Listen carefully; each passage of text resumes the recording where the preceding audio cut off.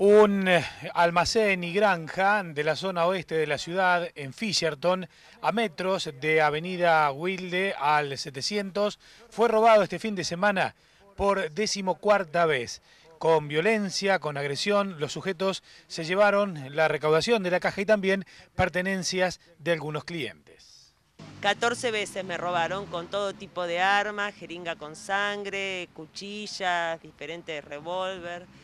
La última fue este fin de semana pasado. Este fin de semana a las 6 eh, y 5 de la tarde había clientes, ya no les importa nada, con gente, sin gente, le roban a los clientes, eh, son muy agresivos, explotan eh, cerveza, sidra, yo tenía unas botellas ahí, explotan como para amedrantar. Este, es una situación muy fea, de, mucho miedo, de, de mucho susto. Son segundos, minutos, pero que parecen... Sí, sí, son segundos, porque realmente un robo dura segundos, por eso pusimos la cámara y todo, pero no les importa nada ya, con, con la cámara siguen robando. Eh, dos eh, sujetos en moto, Sujet... bajaron, entraron. Sí, sujetos en moto, motos que no tienen patente, que pasan continuamente todo el día, mañana, tarde, noche.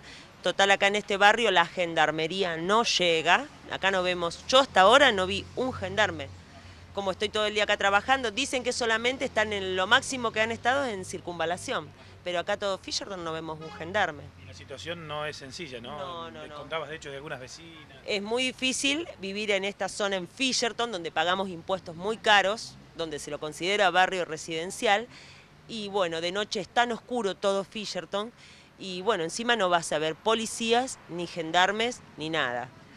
Eh, ¿La vecina le habían querido robar el auto? Sí, en el mes de febrero y la golpearon mucho. Estaba entrando el auto y tres sujetos en moto eh, se bajaron y le dieron culatazo, las golpearon a las dos, madre e hija que estaban entrando el auto. Allá de este hecho particular y de las reiteradas denuncias y, todos los trámites que hay que hacer, ¿cómo, cómo se sigue?